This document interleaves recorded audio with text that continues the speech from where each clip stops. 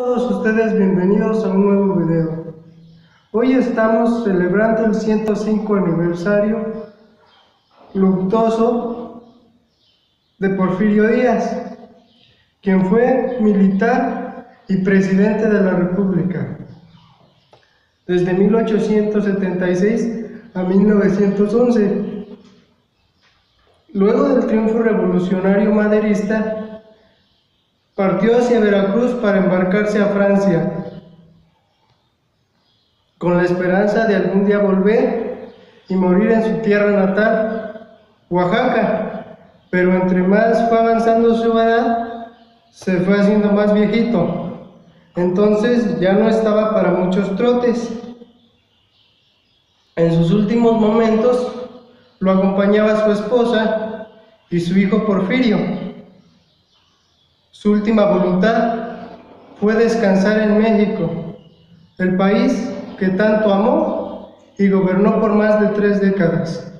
Murió un día como hoy, a sus 84 años, un 2 de julio pero de 1915.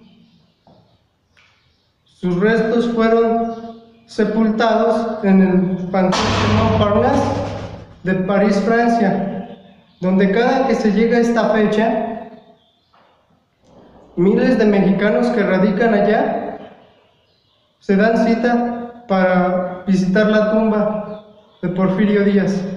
El actual presidente de México, Andrés Manuel López Obrador, dice que no tiene ningún inconveniente en traer los restos de Porfirio Díaz a México.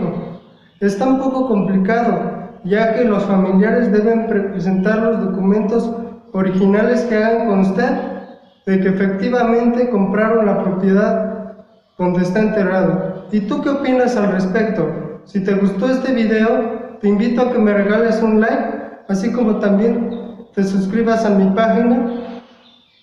Esto ayudará de alguna u otra forma a fomentar la historia y a que nunca se nos olviden los